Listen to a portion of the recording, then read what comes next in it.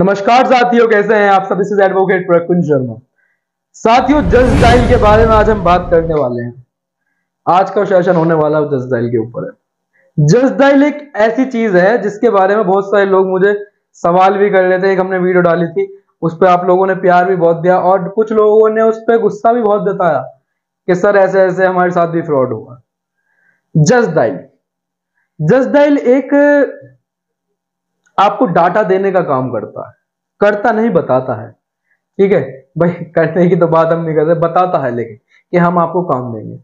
कुछ इसी तरीके से ना क्या करते हैं, इनके ना देखो यार, आज के टाइम में जॉब सबके सबको चाहिए। बहुत से लोग ऐसे होते हैं जिन्हें जॉब करनी है, नौकरी करनी है, क्योंकि बेरोजगारी दर बहुत बढ़ता जा रहा है। तो जज डायल में कुछ लोग नौकरी करने लगते हैं। जज डायल में जो देखो, ना तो जज डायल की गलती मैं बताऊँगा यहाँ, ना एम्प्लॉय की गलती बताऊँगा। ठीक है? गलती होती है आपकी। गलती होती है हमारी। ठीक है? क्योंकि हम उस, जो भी चीज़ ले रहे हैं, उसके बारे में हम रिसर्च नहीं करते। ठीक? भाई देखो, होता है कहीं हो जाता है, क्योंकि देखो सर्च इंजन तो बहुत बड़ा है जज डायल लेकिन काम हमें नहीं मिलता, वो चीज़ गलत हो जाती है हमारे साथ। भाई, आपको पहले तो सर्च करना चाहिए जब आप लेते हो कुछ चीज़। भाई, इनके क्या करते हैं? इनके जो एम्प्लॉय होते हैं देखो देखो मार्केट वाला बंदा, उससे तुम क्या कहोगे?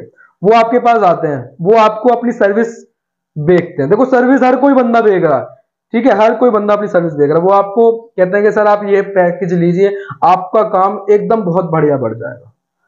ठीक है? आप वो पैकेज ले लेते हो। जब पैकेज आपको ले लेते हो तो उसके बाद आपके साथ प्रॉब्लम शुरू हो जाती है। ठीक है? भाई, आप ले लेते हो, आप सोचते हो कि मुझे बहुत अच्छा काम मिलेगा।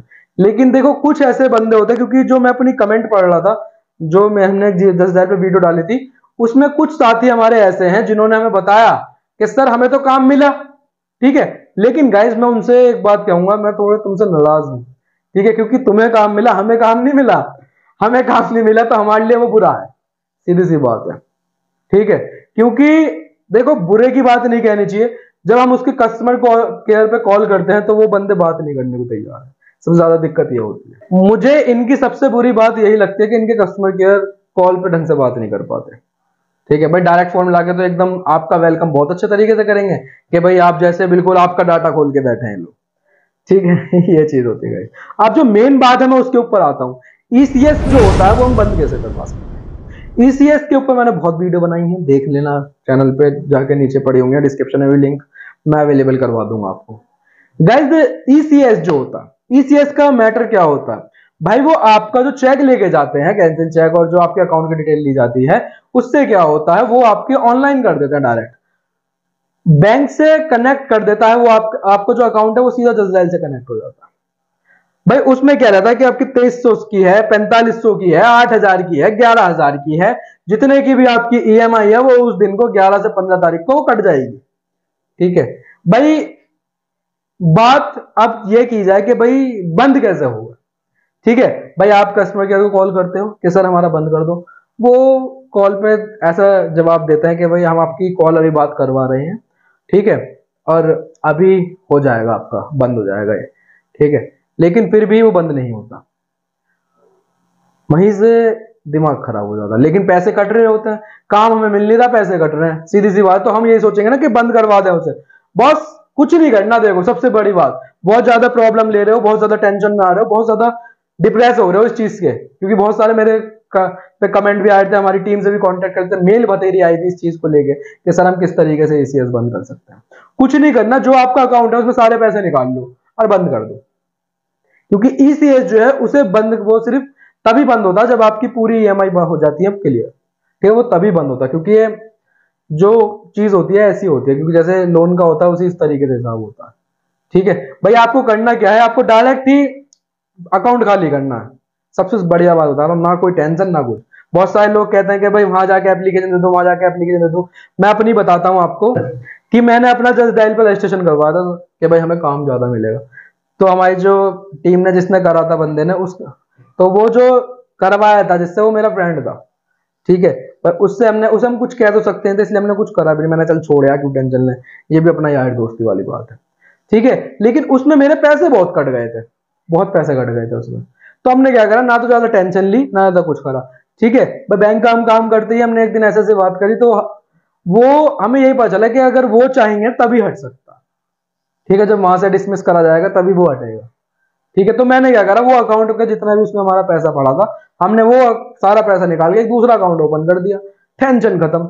सबसे बढ़िया बात है ईसीएस e यदि आप बंद करना चाहते हो ना तो सबसे ज़्यादा इंपॉर्टेंट यही है कि अपना खाता ही चेंज कर दो। सबसे बढ़िया बात।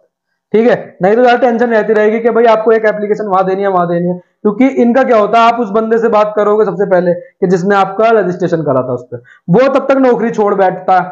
ठीक है? और यदि किसी चांस बाई चांस उसने नौकरी नहीं छोड़ी है तो वो क्या करेगा? वो आपको अपने जो उसके हेड पर्सन है, वो उनका नंबर दे देगा। ठीक है? वो कहेंगे कि, सर, मैं दिल्ली से करवा देता हूँ, आपके पास ये आएगा ऑनलाइन ही बंद हो जाएगा। लेकिन वो नहीं होता।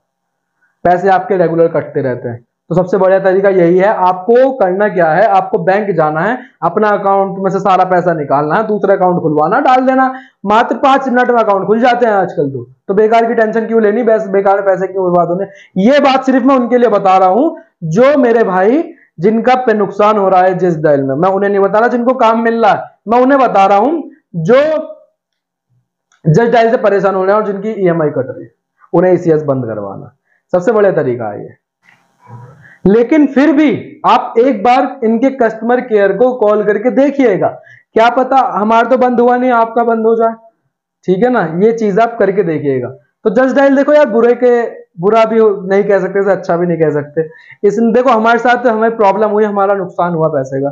तो हम इसीलिए बता रहे हैं कि ईसीएस अगर आप बंद करवाना चाहते हो, सबसे अच्छा तरीका है। क्योंकि हम भी कभी भाई कंप्लेंट कर रहे थे, कभी वहाँ कर रहे थे तो हमारे हर महीने पैसे कट रहे थे। उस डेट को पैसे कटने ही कटने तो कुछ फ़ायदा नहीं है।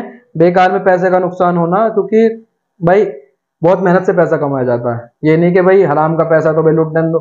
ठीक है, और अगर मेहनत का पैसा, देखो सबका पैसा मेहनत का होता है तो उसे सही यूज़ करना चाहिए। ठीक, भाई, ये नहीं कि गलत जगह जा रहा है, भाई इससे बढ़िया अगर हज़ार, पंद्रह सौ, दो हज़ार रुपये अगर वो वहाँ जा रहे हैं तो इससे बढ़िया आप किसी गरीब की मदद कीजिए। सबसे बढ़िया चीज़। सही बात है नहीं भाई? वहाँ कटने से अच्छा है तो किसी गरीब को मिल जाए। गलत कह रहा हूँ तो कमेंट में बता देना, और अच्छा कह रहा हूँ तो भी कमेंट में बता देना। तो बस यहीं तक के लिए मैं आपके लिए उपस्थित था कि भाई इस चीज़ को बताने के लिए मुझे लगा कि भाई मुझे बताना चाहिए ईसीएस के बारे में। ठीक है? बस अब एक छोटी सी रिक्वेस्ट मेरी यही है कि यदि आप इस चैनल पर नए हो तो चैनल को सब्सक्राइब कर लेना। साइड में जो बेल आइकन है उसे प्रेस कर लेना। वीडियो अगर मेरी अच्छी लग रही है तो लाइक शेयर कमेंट ज़रूर करके बताइएगा कैसी वीडियो लग रही है। Thank you very much